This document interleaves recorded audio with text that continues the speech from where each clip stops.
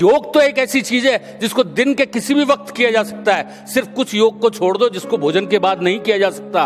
बाकी तो सारे योग ऐसे हैं। एक योग ऐसा भी है जो भोजन के बाद ही किया जाता है। यदि आप उसे कर रहे हैं तो आप कितना भी खा लो, वो योग आपको पचा देगा। आज हम इन्हीं सब विषयों पर बातचीत करेंगे। पत्रिका डॉट कॉम आपके लिए लेके आए, आपकी सेहत के लिए लेके आए, एक बहुत सारी योग की सीरीज़।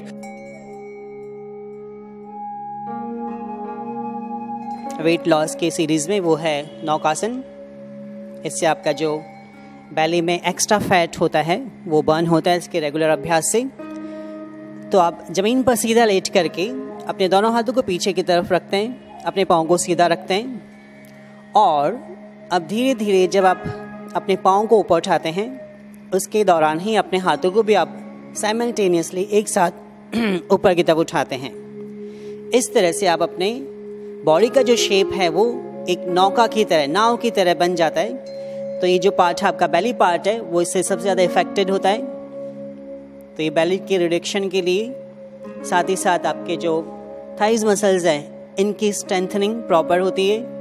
प्लस जो ब्लड सर्कुलेशन आपकी थाइज में प्रॉपर होता है प्लस टोन अप करता है आपकी थाइज को।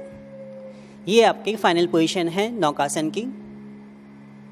अब धीरे धीरे हम नीचे की तरफ़ आते हैं।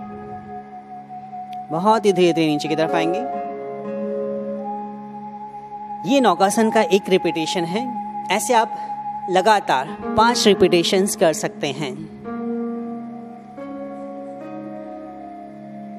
जब हम ऊपर की तरफ़ आएँगे तो सांस को लेते हुए ऊपर आएँगे। अप यस और जब हम नीचे जाएँगे तो सांस को छोड़ते हुए बहुत ही धीरे धीरे नीचे की तरफ़ जाएँगे। डाउन यस इस दौरान आपको सांस का क्रम इस तरह से रखना है। टू डाउन थ्री इसे हार्ड बनाने के लिए आप अपने टू को टच करें, कोशिश करें। डाउन फोर डाउन फाइव रोकिए थोड़ा सा इसे यहाँ पर रोकिए एंड डाउन रिलैक्स और इस आसन के बाद में आप कम से कम एक मिनट तक ज़मीन पर लेट करके आराम करेंगे।